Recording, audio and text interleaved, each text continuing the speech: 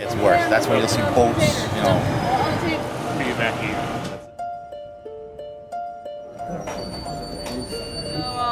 We're in New Dorp on Staten Island, New York, and we're from Troop 4, uh, Boy Scouts, and we're cleaning up houses and feeding people who are affected by Hurricane Sandy. Um, we've been, this is the second time we've, we've been here, and uh, we started since about 8 in the morning. It's now 2.07, and uh, going to tell you a little bit about how we, how we were affected as well.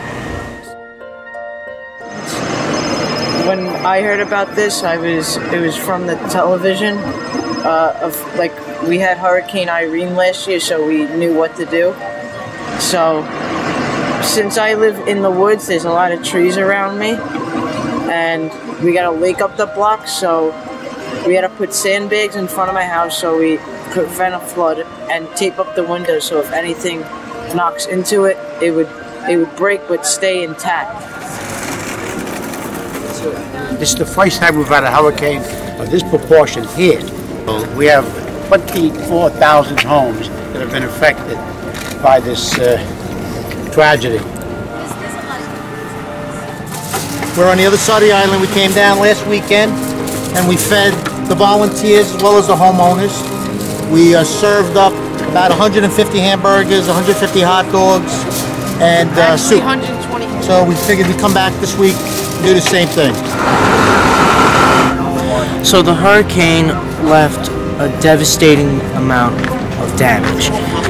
People had no power, boats were in the middle of the street, and trees were down, and we had to do. We had to bring everybody together. We had to make things right. We had to bring everybody.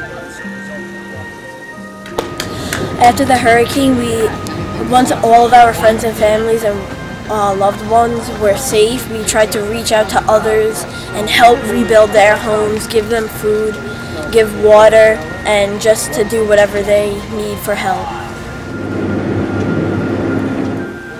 We knew that once we were safe, we needed to reach out and help the people that were in need because it's our duty as scouts to go out and help these people.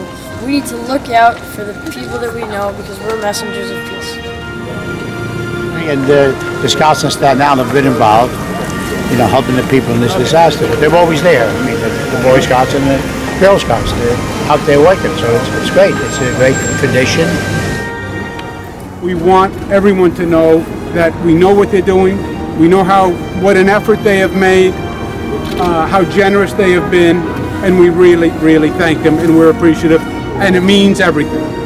When you have that kind of support behind you, and you know you're not alone, it really gives you the strength to go on. We are messengers of peace.